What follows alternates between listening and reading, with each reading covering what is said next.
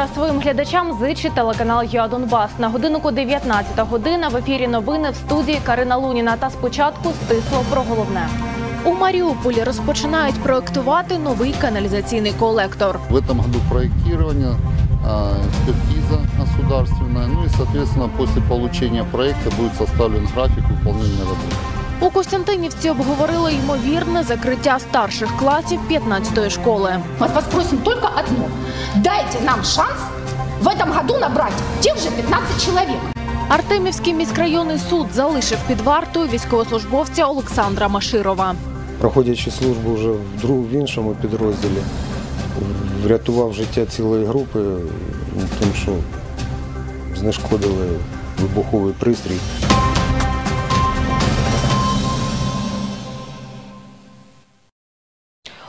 У Маріуполі розпочинають проєктувати новий каналізаційний колектор. Труби прокладатимуть на вулиці Променевій. Про це розповів директор департаменту розвитку житлово-комунальної інфраструктури Ігор Бабик. До завершення робіт дорогу там не асфальтуватимуть. Зробити це міськраду неодноразово просили місцеві жителі. Подробиці знає Інна Ливанська. Це дорога у приватному секторі на вулиці Променева. Після кожного дощу, каже місцевий житель Андрій, вода заливає подвір'я. все ливневые стоки идут только по нашей улице. Неважно, прорвало тут у нас или возле тысячи мелочей, не, ну не возле тысячи, возле, возле школы милиции. И с кренкеля сверху все идет. И в результате все это вымывается. Гараж поднимал на два шлакоблока только из-за того, что вода пошла через дворы. И мне прямо гараж захожу, у меня яма полная, доски всплыли. І так понад 20 років. Такси к нам, э, как только услышат адрес Халтурина, ну, Халтурина или Променева, Променева, машин нету. Машин, они сюда не хотят ехать. Они не хотят ехать. Ну, скоро это по необходимости могут и проезжает, а такси не хотят. Если хотя бы а- асфальт, но с бордюрами, не просто за это самое, это было бы решение Наприкінці 2018 року комунальники засипали 500 метрів дороги шлаком. Вистачило цього на місяць, каже пані Олена. Когда грязь, все, ну, я могу выйти в калошах, вот к соседу пройти, да, но я же не могу куда-то выйти. Одевают либо кульки люди, и там где-то их снимают. Невозможно пройти грязь, потому что она на- накатывается с каждым ливнем, с каждым идет хорошим слоем. Между ними еще камни, которыми, ну, женщинам в каблуках вообще невозможно здесь пройти, понимаете? И вот еще если немножечко она на- наберется, это еще низ шлаковый. Сейчас наберется грязь, опять машины будут застревать. Щоб покласти тут асфальт, треба спершу провести каналізаційний колектор, каже заступник директора Маріуполь Автодору. А на облаштування лівневки потрібно 80 мільйонів гривень. Есть проект, который предусматривает э, строительство ливневой канализации здесь. Но пока он из-за финансирования пока приостановлен, и он должен пройти по новой, это проекту уже года три, он должен по новой проходить все экспертизы и все остальное. Также дату начала работ я вам пока не могу. Прокласти новий колектор планують щонайменше за два роки. В этом году а, мы заходим в проектирование нового напорного коллектора а, с КНС-5, как раз вот э, в коллектор, который 1500 миллиметров, а, он туда будет впадать. В этом году проектирование, а, экспертиза государственная, ну и, соответственно, после получения проекта будет составлен график выполнения работ. А, ну, на это нужно, будем говорить, какой-то период времени. За словами Альберта Соколова, навесні дорогу знову укріплять шлаком чи асфальтовою крихтою. Інна Лованська, Олександр Сушко. Новини на Суспільному. Не закривати старші класи у Костянтинівській 15-й школі просять депутатів міськради, вчителі та батьки учнів. Сьогодні на загальні збори запросили начальницю тамтешнього відділу освіти Ольгу Барабаш. Про що говорила Анастасія Славкова, знає.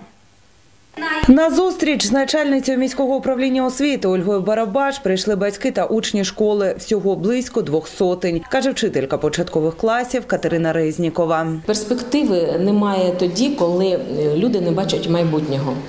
Тому я е, вважаю, що ми повинні зараз стати всі на захист нашої школи для того, щоб відстояти цю ступень і ем, щоб діти, щоб дітям відкрили е, 10 клас. З проханням не закривати старші класи до Барабаш звернулася вчителька початкових класів Оксана Малюк. От вас просим только одно.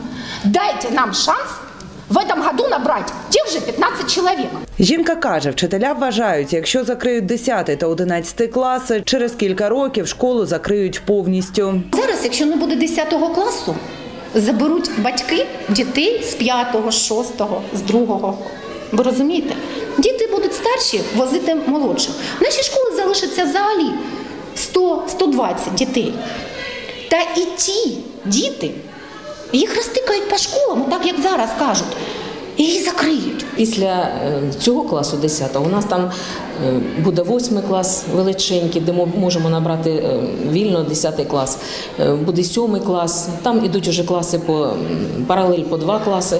Тому я вважаю, що перспектива у нашої школи є. У 9 класі навчається 15 дітей. Незаповнені класи, немає грошей утримувати, каже начальниця Костянтинівського управління освіти Ольга Барабаш. Закривши їх, за її словами, можна економити до мільйона гривень на рік. Зараз навчається 19 дітей, із них практика показує, що тільки 50% або навіть менше 40% дітей, які планують продовжувати навчання в 10 класі. Тому е, клас 7 учнів зараз е, нераціонально відкривати. Є рекомендації Міністерства фінансів, міським головам, головам ОТГ про те, що е, відкривати класи, 10 класи з там менше 20 дітей не є раціональним для бюджету. Діти, каже Барабаш, можуть йти до старших класів в сусідні школи. В тому році там було три дитини, чотири, хто пішов до 10, 10 клас, вони пішли в сусідні школи, в 17 школу, в 4 школу. Тобто у нас є в доступності заклади освіти, які можуть забезпечити навчання у повному обсязі. Не хоче переводити доньку в іншу школу Тетяна Яковлєва. Марія зараз навчається в четвертому класі. Мы дело в том, что перевелись с четвертой школы в этом году,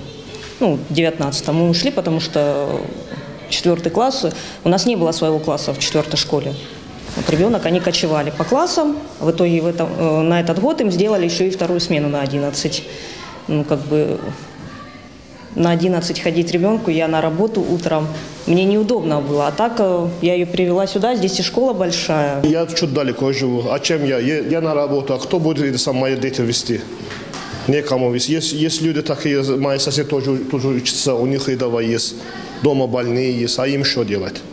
Мы все против. Питання про закриття старших класів у цій школі депутати міськради розглянуть на сесії за місяць. Катерина Резнікова каже, пройдуть з батьками на сесію, просити не понижати ступінь закладу освіти. Так робили минулоріч. Тоді депутати проголосували проти закриття старших класів. Анастасія Славкова, Андрій Резніков. Новини на Суспільному.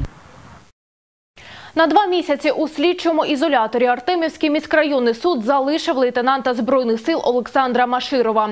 Військовослужбовця обвинувачують у побитті підлеглого. Від травм солдат загинув. Справою займалося Державне бюро розслідувань. Перше підготовче судове засідання у справі тривало 5 годин. Подробиці дивіться далі. 26-річного старшого лейтенанта Олександра Маширова до залу суду привезли із Бахмутського СІЗО. За версією слідства, влітку 2016 року у Покровську під час шикування він побив солдата Максима Турика. За п'ять днів той помер у військовому шпиталі Харкова. Непробачення за обвинувальним актом відносно Маширова Олександра Анатолійовича, обвинуваченого у вчиненні кримінальних правопорушень, передбачених частиною 2 статті 121, частини 4 статті 426 з позначкою 1 Кримінального кодексу. Сторона захисту просить замінити прокурора. Основна теза не може бути процесуальним керівником над розслідуванням та особа, яка до цього виконувала функції слідчого по цьому ж кримінальному провадженню. Для того існує процесуальний керівник перевіряти законність дій слідчого. А тут сама особа перевірила свої ж е, справи. Суд це клопотання не задовольняє. Прокурор просить залишити обвинуваченого під вартою. У судовому засіданні ще не були допитані свідки судом, і тому ризики того, що перебуваючи навіть е, під домашнім арештом, у останнього буде можливість як і через своїх близьких родичів, та й безпосередньо маючи е, доступ до електронних засобів, тобто як і мобільних телефонів, здійснити тиск на свідків. Ще одне клопотання адвокатів просять розглядати справу у закритому режимі. І знову відмова. Підтримати обвинуваченого приїхав його побратим із позивним «Скіф». Обличчя на камеру просить не показувати. Його відношення до підлеглих завжди було командирське. Він особисто займався постачанням,